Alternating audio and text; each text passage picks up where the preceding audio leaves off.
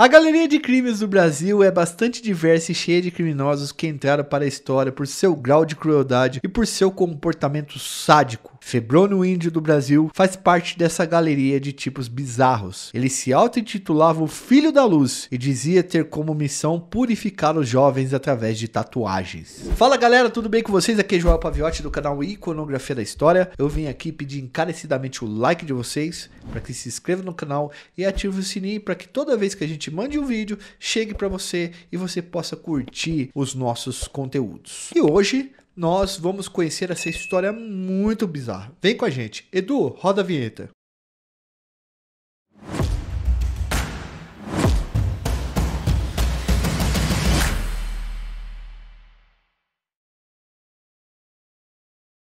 Segundo filho de uma família de 14 irmãos, Febrono nasceu em 1895, final do século XIX, em São Miguel de Jequitinhonha. Ao longo da sua vida, galera, Febrono usou uma pá de nome. Tabor de... Ó, ó, vou falar algum deles, tá? Alguns deles. Índio do Brasil, Fabiano Índio do Brasil, Pedro de Souza, Pedro João de Souza, José de Souza Matos, Febrono Simões de Matos, esse provavelmente era o nome de batismo, tá? E Bruno Ferreira Gabina. E mais outros tantos nomes aí que a gente não acabou não vendo no registro, nas referências que a gente buscou. Não há muitas informações sobre a sua infância, mas há relatos de que seu pai era bastante violento e batia na esposa e nos filhos quando ele estava alcoolizado. O maldito do álcool destrói a vida de muita gente. Em função da violência paterna, Febrono saiu de casa aos 12 anos de idade e seguiu viagem como caixeiro viajante. Viajante era um cara que saía para vender coisas de porta em porta naquela época. A partir daí, Febrono passou por vários lugares, conseguiu ser alfabetizado e trabalhou em diferentes serviços até que chegou no Rio de Janeiro e começou a praticar pequenos crimes. Em 1917, a sua ficha policial começa a ganhar registro de fraude, roubo, vadiagem, suborno, furto e chantagem. É verdade, tinha um crime que chamava vadiagem. Se você tivesse parado num bar sem emprego e sem ter um serviço para você ir, você podia ser acusado de vadiagem e ser colocado dentro da cadeia, tá? A primeira detenção do Febrônio, galera, aconteceu em 1920, na colônia correcional de Ilha Grande. Foi nessa prisão que Febrônio disse ter tido uma visão de uma mulher de branco que lhe dera a missão de dizer ao mundo que Deus estava vivo. Olha que doideira, ele era esquizofrênico, certamente, mas naquela época ainda não tinha o diagnóstico. Assim nascia Febrônio, o filho da luz, que passou a ter atitudes cada vez mais estranhas e bizarras. Se liga nisso daqui, galera. Após sair da prisão, ele formou uma sociedade com um dentista chamado Bruno Ferreira de Gabina e chegou a se passar por ele diversas ocasiões. Há suspeita de que Febrônio tenha tirado a vida desse Bruno aí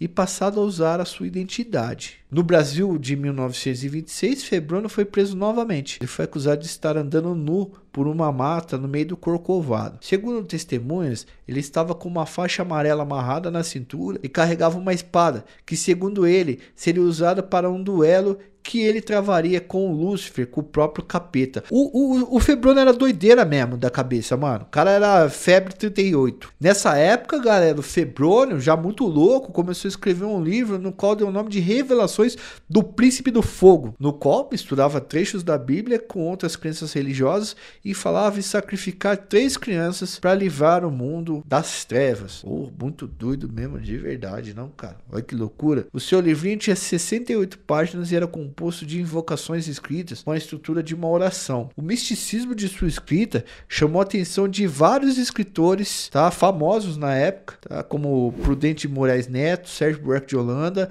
e até o Mário de Andrade. Tá? Uma cópia desse livrinho do Febrônio compõe inclusive o acervo Mário de Andrade está disponível até para vocês consultarem aí na internet, tá? Febrônio, ele se identificava como filho da luz e ele tatuou umas inscrições muito louca no corpo dele, né? Vou até falar para editor colocar aí para vocês verem. Ele dizia que a mulher loira que ele tinha visto lá, né, que falou para ele um monte de, de abobrinha, tinha mandado ele tatuar no, no peito algumas letras, né, que significavam Deus, caridade, virtude, santidade, vida e imã da vida. Sabe-se lá por quê? Assim, ele começou a atacar jovens e a fazer essas inscrições no corpo dos caras. Ele virou um serial killer. Para fazer as tatuagens, ele usava um conjunto de agulhas amarradas por um barbante. Ele usava fuligem molhada de tinta e marcava os corpos de sua vítima sempre com a mesma inscrição, que de acordo com ele permitiria que as vítimas renascessem depois. Olha que doideira. Segundo investigações na época, ele abusou sexualmente de 10 rapazes e tatuou com as letras ditadas pela suposta aparição. Em agosto de 1927, galera, ele foi acusado de estrangular Almiro José Ribeiro,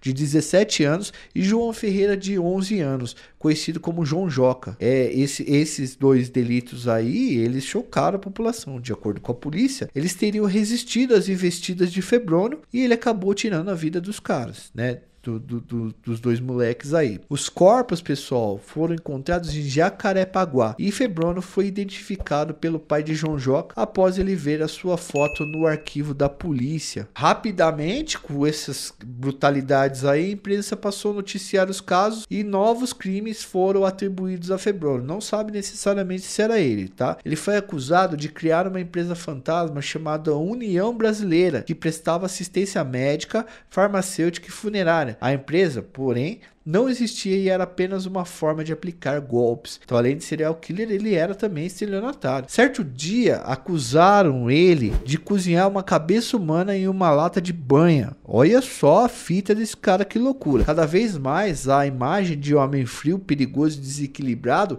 ia causando um medo violento na população do Rio de Janeiro e ganhando as páginas da imprensa da época. A gente vivia os anos 20, não era acostumado, aliás, até hoje não é acostumado, mas via-se muito pouco esse tipo tipo de violência. Quando ele foi preso, a polícia queimou todos os exemplares do seu livro, restando apenas aquele que está ainda na biblioteca Bar de Andrade. Febrônio, galera, era tratado na imprensa como um monstro perigoso. As mães usavam seu nome para assustar as crianças como se fosse o bicho papão e impedir que elas ficassem na rua até tarde. É, o, o Febrônio ele acabou virando uma coisa mística, né, de história de bandido mal na história dos anos 20, 30 e 40 no Rio de Janeiro. Ele se tornou uma espécie de bicho papão que aterrorizava batizava todo mundo. Os cartórios chegaram a proibir o uso do seu nome para batizar criança. Olha que doideira. Encaminhado para o manicômio judiciário, ele foi analisado por vários psiquiatras que atestaram distúrbios em saúde mental. Lógico que atestaram distúrbios de saúde mental, né, gente? Pelo amor de Deus. Assim, ele não foi tratado como um criminoso comum, mas como um louco mesmo, um cara psicótico em estado de delírio. Por isso deveria ficar, por isso ele ficou no manicômio e não poderia voltar mais a conviver com a sociedade, tá? Quem fez a avaliação avaliação dele foi um grande psiquiatra chamado Heitor Carrilho. Descrito pela imprensa como uma figura do mal, um demônio perigoso, ele ficou encarcerado por 57 anos sem nunca mais ter contato com o mundo do lado de fora. Febrônio morreu, né? Foi parar no colo do capeta em 1984, aos 89 anos de idade, completamente demente e tomado pelas visões e revelações místicas que dizia receber. Quer dizer, o cara ficou louco pro resto da vida, ele não tinha condições de se curar. Gostaram da história? Acharam interessante? Conheciam ela? Espero Espero que vocês tenham gostado. Por hoje é só no nosso canal. E ao final eu sempre peço para vocês o like. O like ajuda muita gente a produzir, ele é o pagamento do youtuber. Peço para você que se inscreva no canal, ative o sininho para receber notificações de novos vídeos que a gente lançar. Se possível, vire membro do nosso canal. Com apenas R$ 4,99 por mês vocês podem acompanhar nosso trabalho muito mais de perto. Acesse nossa loja virtual que está aí, a gente vai deixar o link também, se vocês quiserem comprar uma camiseta para nos ajudar, a gente está vendendo. Porque produzir não custa barato. E Quanto mais ajuda a gente tem, quanto mais pagamento a gente tem, mais a gente pode dar um ralo para trazer coisas mais interessantes para vocês. Espero que vocês tenham gostado. Sou Joel Paviotti do canal Iconografia da História. Fui!